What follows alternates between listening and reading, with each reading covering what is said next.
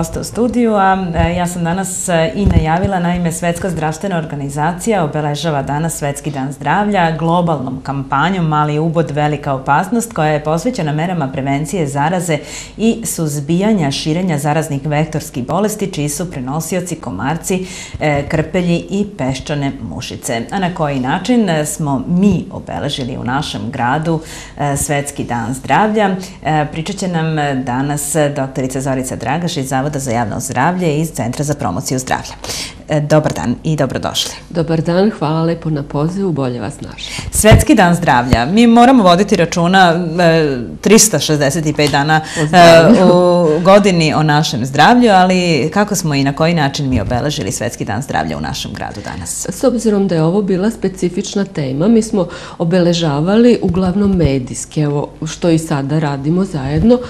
Pozvali smo u goste na našoj konferenciji za novinare koju smo organizovali, koja je bila danas u toku prepodneva, gospodina koji je doktor veterinarske medicine, da nam malo priča o ovoj temi sa svog aspekta, da je osvetli iz ugla svoje struke i e, Centar za prevenciju i kontrolu bolesti Zavoda za javno zdravlje je zajedno sa našim centrom, Centrom za promociju zdravlja ovu temu sagleda opet svako iz svog ugla, tako da ja se nadam da smo na toj konferenciji pružili dovoljno kvalitetnih informacija koje dalje novinari mogu da proslede u javnost, ne samo kroz svoje informativne emisije, nego i kroz različite druge druge emisije u podnevnom ili prepodnevnom programu koji su posvećeni zdravlju. Tako da ova tema bude malo više prisutna s obzirom da i nije toliko često bila prisutna izuzev kada se dogodi nekakav slučaj oboljevanja pa se onda svi zabrinemo i zapitamo se šta se to desilo, kako se moglo sprečiti.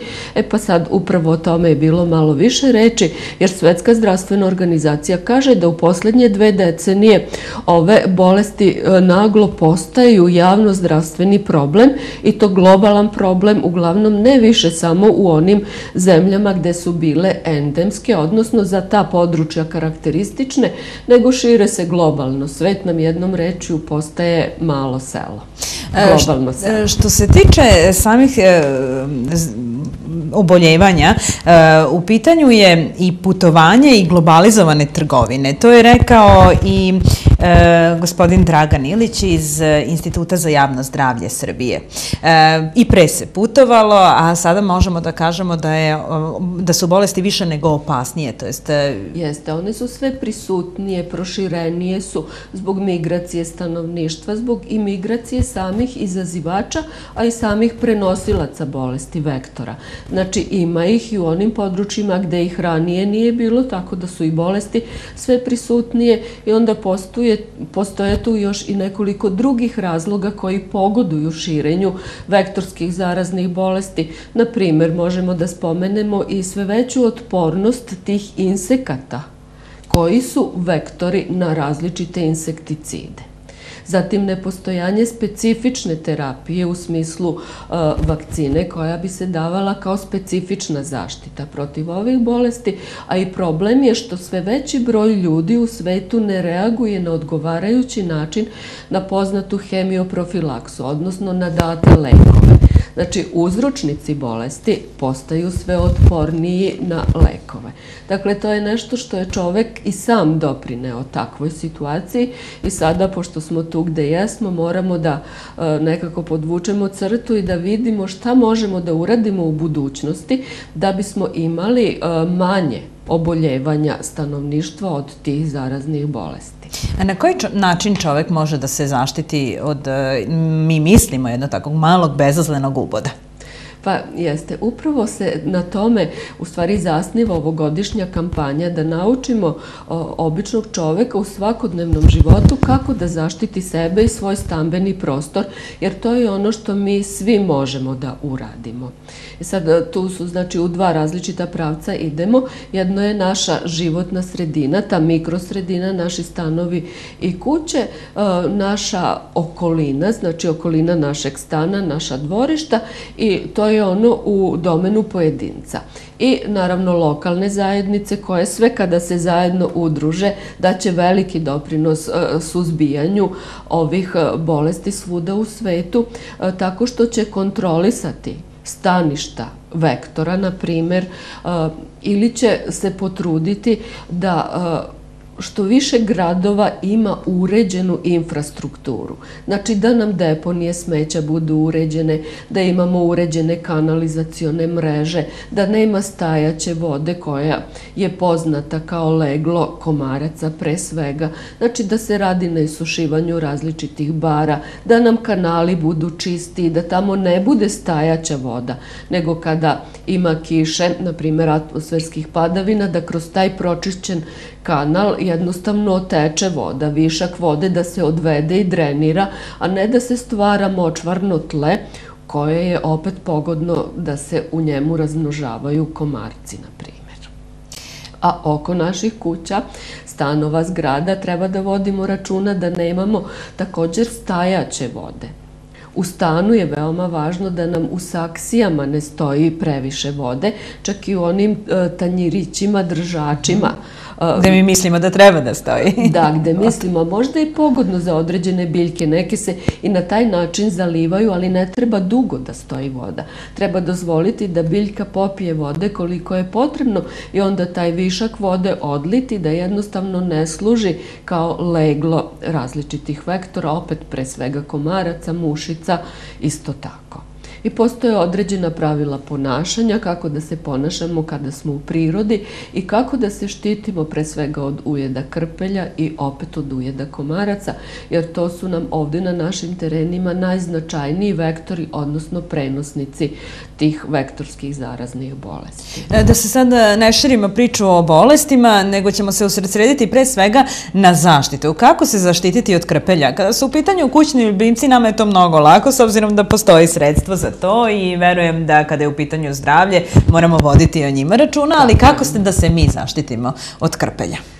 Da, upravo ste dobro rekli, jer kada smo u prirodi sa svojim kućnim ljubimcima, onda oni isto tako mogu da pokupe određeno krpelje i odmah da kažem da nije svaki krpelj zaražen, da ne bi bilo možda straha previše kada boravimo u prirodi, ali mi unapred ne znamo da li je krpelj zaražen ili ne i veoma je važno da na svojoj odeći i na svojoj koži ne donesemo krpelja u stan ili da slučajno ne previdimo da se on već zakačio na našu kožu. Znači moramo da pregledamo i kožu i odeću i svoje kućne ljubimce kada dođemo, kada se vratimo posle boravka u prirodi. Isto tako je e, veoma dobro ako pratimo situaciju, ako znamo koje su zelene površine u našem gradu tretirane. S obzirom da je potrebno tretirati zelene površine i protiv krpelja, a to je isto tako poznato e, mediji su uvek ti koji će nas obavestiti, pa i zbog pčelara između ostalog, kada se tretira uh, uh, vazduh, odnosno kada se vrši zaprašivanje iz vazduha da bi se uništili komarci. To postoji određeno vreme kada se to radi i kada je to najefikasnije. A dakle, uh, ipak za svaki slučaj nije preporučljivo da boravimo tamo gde je visoko zelenilo. Znači visoka trava gde znamo da to nije košeno, verovatno onda i nije pod kontrolom. Znači, ipak da biramo ta mesta gde ćemo da boravimo u prirodi i, kažem, kada se vratimo, obavezno da se pregledamo. Isto tako i decu, naravno. I ukoliko primetimo krpelja na koži, na primjer, onda e, treba odmah da se javimo lekaru. E, to je tako najpametnije da uradimo, da sami ne uklanjamo krpelja, jer može da se desi da prilikom te manipulacije možda samo dublje utisnemo krpelja ili samo da ga e, delom uništimo, a da ipak on ostane zakačen i da prodre dublje u kožu, što ne bi bilo dobro. Dobro bi bilo, kažem, obratiti se u zdravstvenu ustanovu kada će se uh, svaka stručna osoba koja je tamo, ona ume to da uradi i posle toga isto je to važno, uradit će dezinfekciju mesta uboda. A ukoliko primetimo samo mesto uboda da krpelj, na primer, e, nije više tu. I tada je potrebno javiti se lekaru u roku od 24 časa I uputno je tada kazati gde smo boravili, jer taj podatak može biti koristan ukoliko uh, se kasnije pokaže da je tamo bilo uh, stanište krpelja koji su zaraženi. Tako da je to uvek dobar epidemiološki podatak koji kasnije može služiti svrsi, ali opet kažem unapred mi to ne znamo. E, koliko ljudi e, vode računa o tome kada je u pitanju šetnja, sedenje u travi, e, neki piknik? Evo dolazi nam 1. maj toplota, znamo da krpelji dobro funkcionišu na ovoj vremenskoj temperaturi, maj, jun, jul, pa čak ove godine i nešto ranije zbog vremenskih da, prilika. Kako ljudi reaguje na to? Da li se dovoljno štite? I inače, samo da dodam da ove e, vektorske zarazne bolesti, rekla sam, mogu da budu u pojedinim područjima endemske, a neke od njih mogu da budu i sezonske. Naprimer, one bolesti koje krpelji prenose, za njih smo do sada smatrali da su sezonske, odnosno da ih ima više u onom delu godine kada su krpelji aktivni. Međutim, polako se te granice brišu, pogotovo evo kao što je ova zima bila, relativno blaga, tako da uvek treba da budemo oprezni jer to nas ništa ne košta. Ako obratimo pažnju na sebe, pregledamo se, istresemo svoju odeću nakon boravka u prirodi. I uh, još samo u vezi sa odećom da dodam da je korisno da nam odeća pokriva uh, pokriva telo, znači do članka i uh, ruke i do skočnog zgloba isto tako i uh, savetuje se da bude svetlih boja i da ne bude tesna.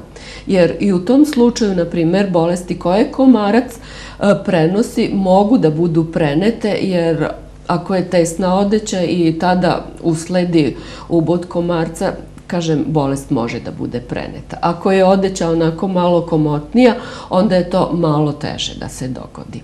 A koliko ljudi vode računa, sad ne znam da li ću da kažem tačno, možda bih ja volela da je tako, ali mislim da ljudi sve više vode računa o tome, jer te uh, vektorske zarazne bolesti nekako nam i nisu bile toliko bliske na ovim našim područjima.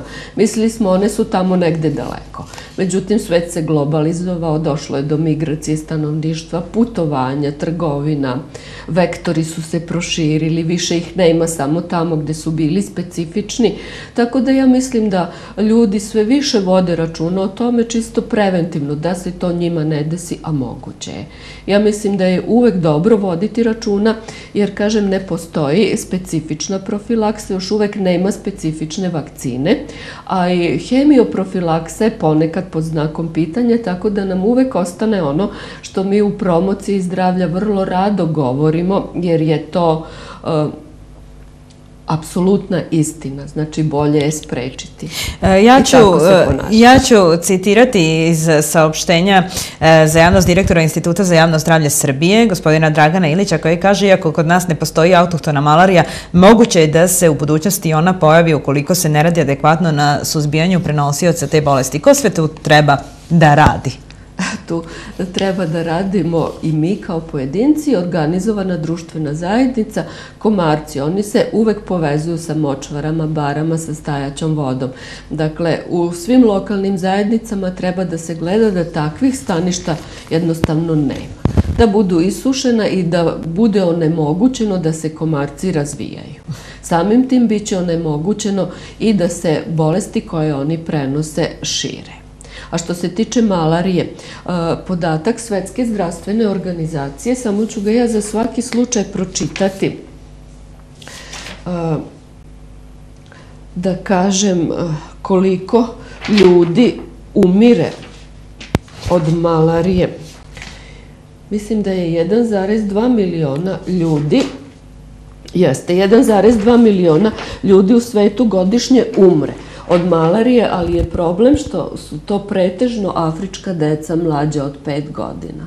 Dakle, i ove vektorske zarazne bolesti slobodno možemo da povežemo sa siromaštvom, neimaštinom, zapuštenom lokalnom sredinom, sa smetlištima, sa nehigijenom.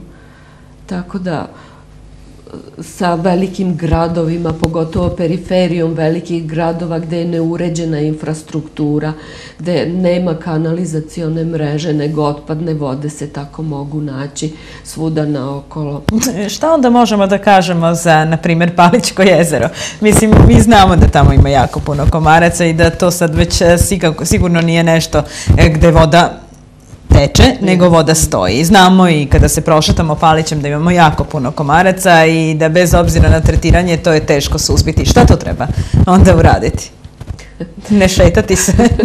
ne znam, teško je odgovoriti na to pitanje. treba koristiti, kažu, repelente.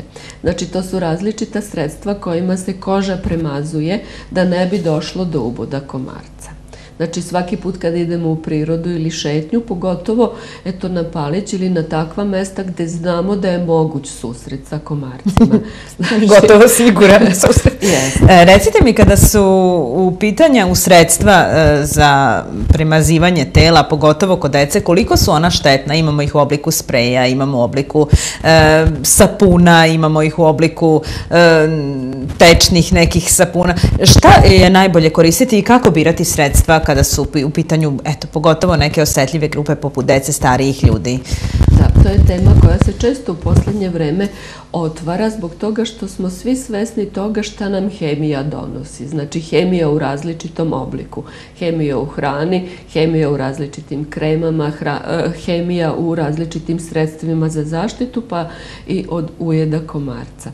Uvek je, kažu, dobro koristiti prirodna sredstva i postoje na tržištu različite kreme eh, koje eh, su napravljene od biljaka koje po prirodi stvari odbijaju ubod komarca. Isto tako je korisno takve biljke u bašti saditi. Naprimer, bosiljak je korisno saditi, isto tako neven. Znači, postoje tako te neke biljke i to može svako malo da se pozabavi više tom temom i da posadite aromatične biljke koje imaju specifične mirise i svojim mirisom odbijaju komar. A što se tiče domova naših, znači bilo da je stan ili kuća, uvek se preporučuje postavljanje zaštitnih mrežica na e, stakla, na vrata. Ja uvek mislim da je to najbolja zaštita. Isto tako se i savetuju različita hemijska sredstva koja će se koristiti u stanu. Međutim, ja mislim da je ipak bolje sprečiti ulozak komarca. A šta nam još može pomoći? Naprimer, e, ako znamo period vremena kada su komarci najaktivniji, to je negde predveče i u zoru. Onda tada treba da izbegavamo boravak u dvorištu, ali ako želimo da budemo u dvorištu, ono što može da nam pomogne to je visoko i jako svetlo, sijalica, postavljena negde uh, malo udaljena od terase i koja će snažno da sija i to će da privuče e, komarce, tako da i na taj način možemo smanjiti e, prisustvo komaraca tamo gde smo mi. Tako da, to je neke stvari e, mogu da pomognu. Svakako neko preporučuju i hemijska sredstva, u pitanju Jeste. su i sprejevi, sprejevi protiv komaraca na kojima piše između ostalog da ukoliko ih koristimo, Posle korišćenja obavezno moramo provetriti prostoriju. E, dakle, a ukoliko postoji mogućnost, a sve vidim e, i češće su e, bambusi koji su paljeni, da li je i to jedan od, se pale pored nekog mesta gde se sedi, da li je to jedna dobar vid zaštite protiv komaraca? Pa kažu ljudi da jeste. To je nešto što je od davnina korišćeno i smatra se da je to dobro. Pale se bambusima, sad i ove nove baklje koje na otvorenom se upale upale i onda i one odbijaju komarce da nam ne priđu i samim tim se smanjuje mogućnost da se ubodom prenese vektorska zarazna bolest. Ali uglavnom, ako možemo da upravljamo svojim vremenom i svojim aktivnostima, onda baš u ono vreme kad su oni najaktivniji ne moramo da budemo na Da, e, svakako, iako vam je možda prijatno uveče da sedite, e, morate se adekvatno zaštititi Jeste. i neka to bude na nekoj prirodnoj bazi. E, šta još možemo da kažemo o bolestima od uboda? Dakle, koje sve to bolesti još postoje?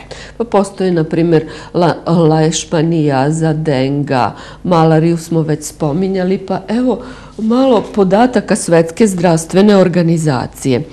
Ovo što je aktuelno, na primjer, i u zemljama Evropske unije, u zemljama u okruženju, pa i u našoj zemlji, to je groznica zapadnog Nila, to je sve veći javnozdravstveni problem, a što se tiče denge, kaže procena Svetske zdravstvene organizacije je da je više od 2,5 milijarde ljudi u više od 100 zemalja sveta pod rizikom oboljevanja od denge. Ja se sećam nekad kad sam u svoje vreme bila student, to su nam tako bile tropske bolesti, daleke bolesti. Mislili smo nikada neće biti i naš problem. Ne, ali vidimo, evo, groznica zapadnog Nila je i u našoj zemlji postala problem. Tako da globalizacija ima svojih prednosti, ali evo ima i svojih mana. Tako da kad su u pitanju i vektorske zarazne bolesti, to mešanje kultura, mešanje naroda, pa evo mešanje vektora, naseljavanje novih staništa, sve to pogoduje širenju i tropskih zaraznih bolesti. E, svakako ćemo o bolestima još e, porazgovarati. ja vam se zahvaljujem što ste večeras bili moj gost. Hvala a mi vama. sada nastavljamo sa muzikom, a nakon toga i najnovije vesti iz grada.